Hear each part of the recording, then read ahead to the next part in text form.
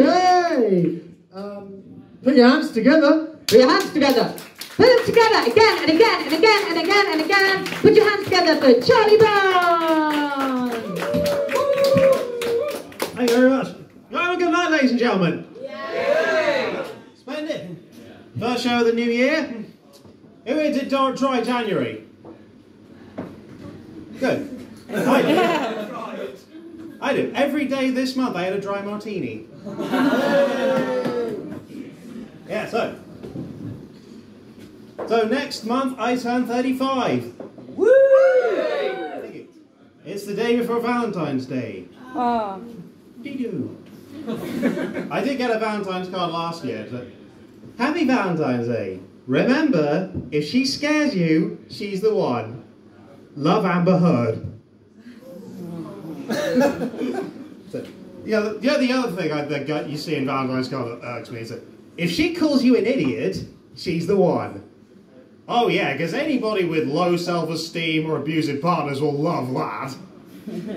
And they're always geared towards men, aren't they? You'd never sell that shit to women, would you? Say, dearest, if he smacks your ass and calls you sugar tits, he just might be the one. We got any couples then? All right, I'm going to score tonight. So, they say that personality is what counts in a relationship. That is what strengthens it, makes it last throughout the years. Well, my girlfriend's schizophrenic, so sport the choice. I got two sets of feedback on that joke. One loved it, one hated it, and they're from the same person. so, one time uh, we had an argument with her. We had a disagreement over the definition of gaslighting. I managed to change her mind. So, one time I got her a finger trap for her birthday. Funnily enough, that's what she calls her genitals. now, now they say tis the job of every comedian to know where to draw the line. I do, it's downstairs in the lavatory.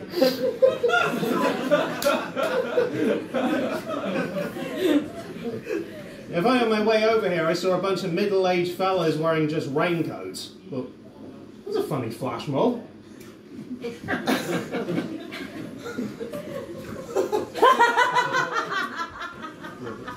I got it. So, so anyway, so what kind of comedian am I? Well, I'm the, I'm the type of comedian who likes to make people laugh and groan. It's a policy I've adopted both as a comedian and as a gigolo. and I hear it's someone's birthday today.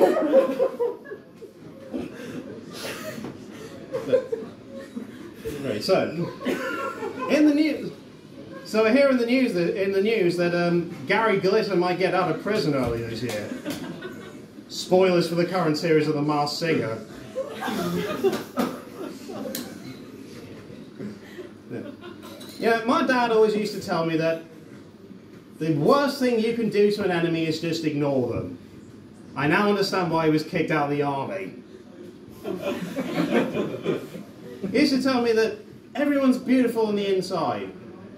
Until he had his colonoscopy.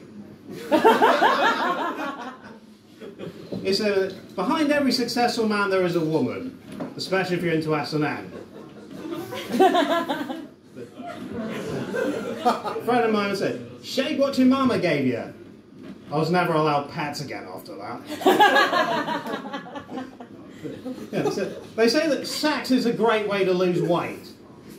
Well, I got well. I'm currently banned from Weight Watchers.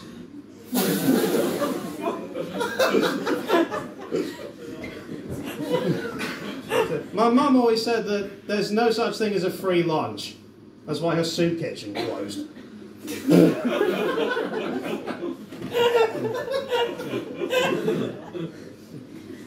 There were, she had, yeah, one of her pet peeves that she doesn't like waste restaurant staff calling people guys. So, so I've told them in advance that, yeah, don't say that word.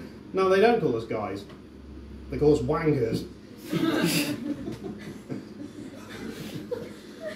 so, yeah. So, uh, so, so, um, it's great to see that the comedy scene in Exeter is building up slowly but surely. I don't mean to say the comedy scene in Exeter used to be dead, but the last place I performed there used to be a mortuary. I still got a shag afterwards.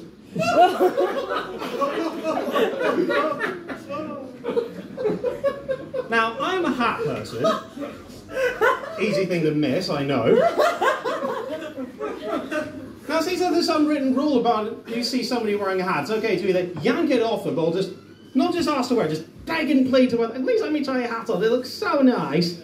I have found out the hard way that the same exact rule does not apply to women's bras. Double standards, eh? What can you do? oh, hello there, but that's a smashing pair of knickers you're wearing. Would you mind if I tried them on? Oh, they will go so well with my collection. Mm, I don't care that they haven't been washed. there are plenty of people wearing glasses. And you ever lend somebody your glasses? They always say the same thing, don't they? Oh, your eyesight's bad. Like, no. Oh, nothing gets past you, does it? I mean, do you sit in people's wheelchairs and go, oh, I'm not going, you're not going anywhere fast, are you?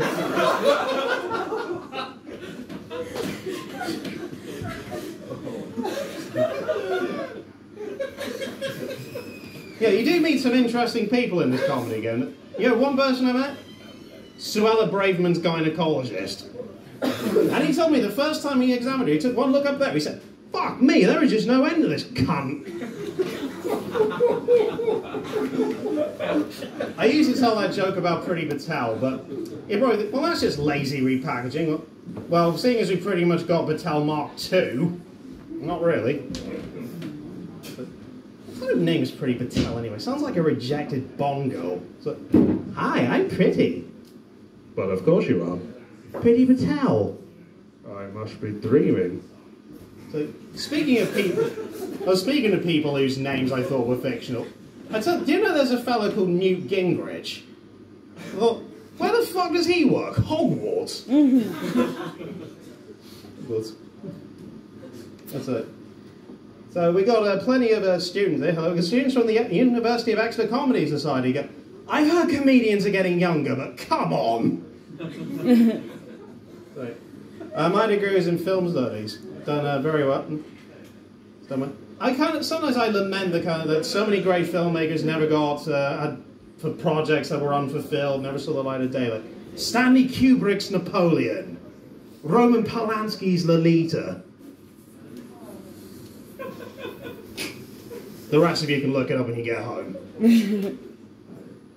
so, uh, it's a shame that uh, my comedy and I seem to end the same way as my romantic engagements. I've got to go, lad. Me five minutes is almost up. so, so I want to leave you with some great words of wisdom I was given. People who live in glass houses should change the stage agents. Thank you very much.